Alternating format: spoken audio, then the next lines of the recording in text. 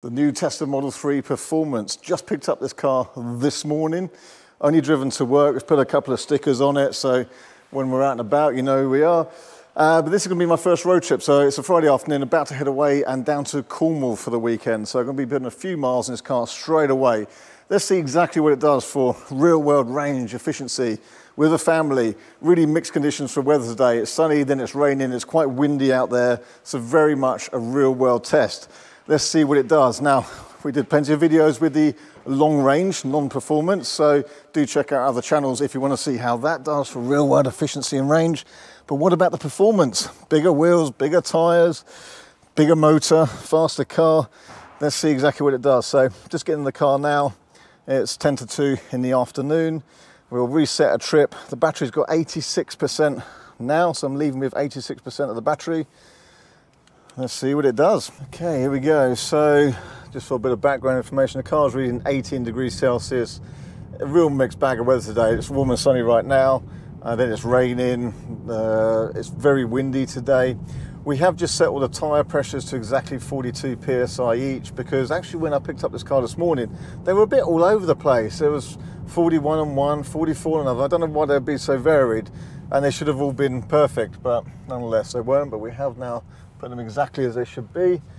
I'm still going for an indicator stalk at the moment, but I did find before with the Highland that I could very easily get used to the indicators on the steering wheel. So personally, I didn't find that a problem. But again, after spending a bit of time in this, doing a long trip, uh, even as a whole family, we'll all get a, again more opinion on this car. Uh, my first stop, as I said off now, is actually to go and pick up some wireless earphones so my daughter can watch the screen in the back. So she loved that. On my previous car, we sold the earphones with the car, so I'll uh, go and get some of them in a minute. But again, first impressions of this car, I did a quick video as I picked it up this morning. It is nice and smooth. I like the adaptive dampers, so that's good. Let's see how it is on a road trip then.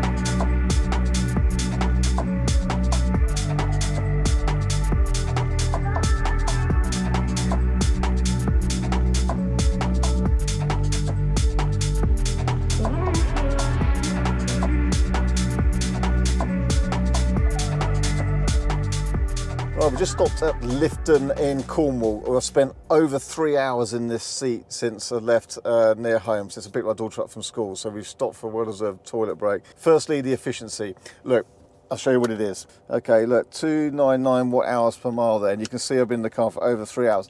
So uh, that's not brilliant, but that has been preheating for these chargers for the last 40 odd minutes, 45 minutes, quite a long time. So it was running about 270 watt hours per mile before that. Is that better than the previous version of the Model 3 long range performance? It's about the same, if I'm honest. Uh, if as long as it's a 2021 onwards car, if it's a pre-2021 Model 3 performance, they that would be less efficient. But compared to the last version, I think it's about the same. It only went up to 300 watt hours per mile once we um, once the, the preheating was happening. Now, I calculated, arrived here with 25%, left with 86%, used, did 146 miles. So that would pro rata to a real world range of 240 miles, which isn't brilliant. Is it about the same as before? Yeah, probably, uh, given the conditions, which has been solid traffic, um, pouring rain, driving fast. Uh, somebody there I think knows me.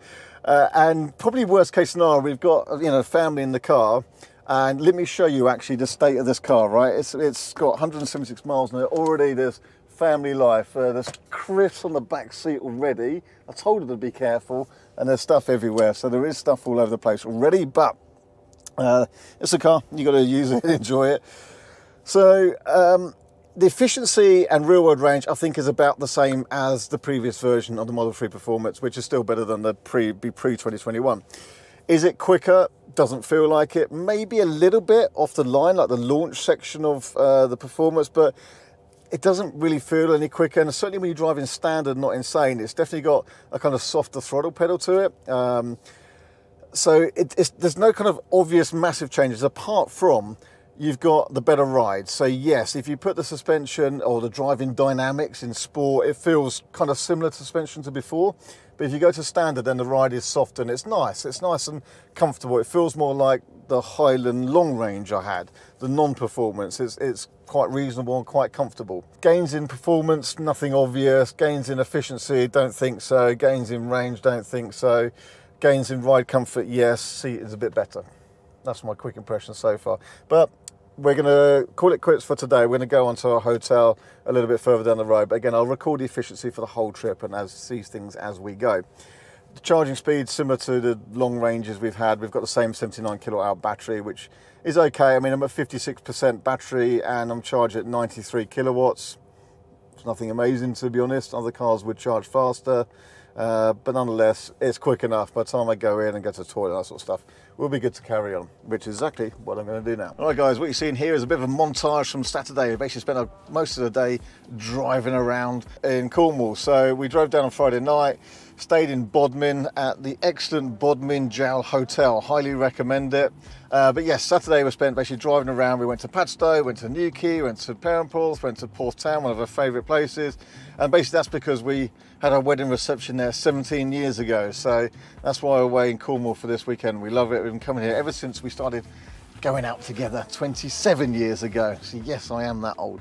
Big thanks to my wife uh, for being so special and putting up with me we did quite a lot of driving because we finished our dinner at the Excellent Blue Bar and then we decided, actually, we've still got a couple of hours before sunset, let's go to Land's End. haven't been there for ages. Well, I did on that John O'Groats Land's End video. If you haven't seen that one, I think I set a record for the fastest time in an electric car. Uh, where I drove from John O'Groats to Land's End, completely kind of unplanned as well. So check out other videos for that, but that was great. But we ended up at Land's End really for sort of sunset last night and then we, we drove back. Driving back gave me a chance to sort of test the headlights, which are the Active Matrix, which are pretty good. Um, again, it's sort of better out there, but they're good, they're good, they're good, they're okay. Anyway, the efficiency with that real mixed bag of driving yesterday, the hills of Cornwall, and, and just not trying in and out of the car all day long. A couple of times we used dog mode as well, going to a restaurant to eat and that kind of stuff. I averaged there about 280 watt hours per mile, which is I think about what I would have got from the previous Model 3 performance, to be honest.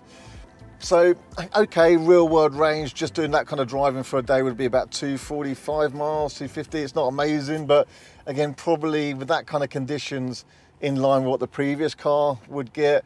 On a longer journey, when you can get better efficiency, um, you know, I think it will improve. And in fact, if it stays dry today, then maybe we get a chance a bit later on to see what we get on a long, longer journey efficiency as we drive back.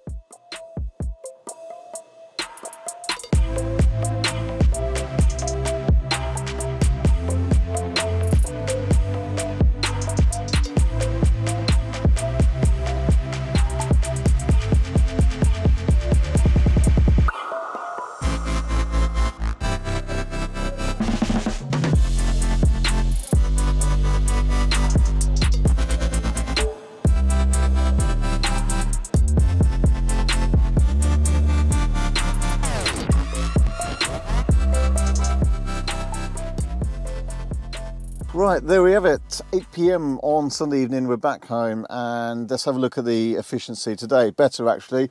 Uh, better weather, drier, sunnier, so that's good. But today's driving, again, as we left Cornwall, we went down to Plymouth. Went and saw my granddad was born and grew up in Plymouth. And then, so like a bit around town, a bit more touring along the southern coast. So I ended up at Salcombe, beautiful place. Again, if you've been there, you know how steep the hills are up and down, narrow lanes, all that kind of stuff.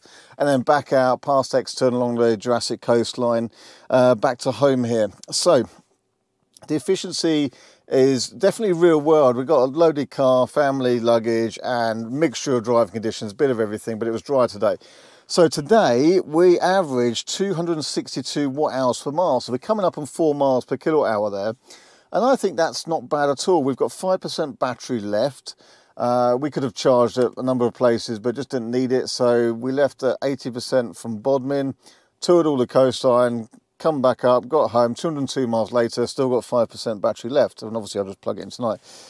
So if you prorata 75% used to cover 202 miles, you get to about 270 miles of range based on those conditions today. Uh, which I think again is a mixed bag. So I think if you're the last bit actually, my wife drove for the for the last uh, for the 45 minutes hour there, and she got much better over four miles per kilowatt hour actually. So she's more efficient driver than me. Uh, but I think if you just had the long journey on a motorway in decent weather, then you should be able to get even better efficiency. That probably about four miles per kilowatt hour quite happily. And I think then that would actually be a bit better than the older car potentially. All in all, like if you've got the 2021 to 2023 Model 3 performance, the newer 2024 in the UK, Europe at least, with a 79 kilowatt hour battery, unlike the 82 in America, isn't going to give you uh, better range, particularly, I don't think. The performance difference isn't particularly noticeable, I don't think, but to be fair, we've just been in the standard because, you know, we're family in the car, we're not going to hammer it but the standard is very quick and you do just get like a nice progressive you don't get the kind of violence in the uh, in the acceleration. It's nice actually and then i'll do a bit more driving with insane and we've got a track day coming up and all that kind of stuff. I have to say been loving the handling the feel those country roads in cornwall some of those roads sweeping around. The handling of this car is fantastic. It's great feels really good. I mean, the Highland in general does feel a bit different on the turning than um, the previous cars. So uh, you will notice the Highland's got a slightly nicer steering feel about it, I think. And this is even better. This is a performance one being even better. The new seats are okay, but I must admit, like again, I, have sort of been finding that I've had an achy back. That's why we got out, actually why we swapped places driving in the end. So I basically find them okay and better than any seats I've ever had in the Model 3 before, but it'd be nice just to kind of do a couple of last little bits to make them really perfect. The car is nice and quiet and refined, but there are certain surfaces where these tyres pick up on a sort of thrumming kind of resonance with the road surfaces. There's a couple of little bits about the car which aren't quite brilliant and I'm going to do a full review video. I mean, I've done 560 miles in this car now in, in three days, so I've obviously spent a few hours behind the wheel and I will review the whole car as a whole, what I like and don't like. Overall, great car, a few little niggles and I'll go through them in another video, so make sure you stay subscribed. But that's it for this weekend road trip away down to Cornwall, right down to Land's End and back again. Over 500 miles covered and a good gauge of mixed real world efficiency if you're travelling around the Cornwall coastline in June in not brilliant weather. So I hope that's useful, interesting, and we'll see another video very soon. Thanks for watching.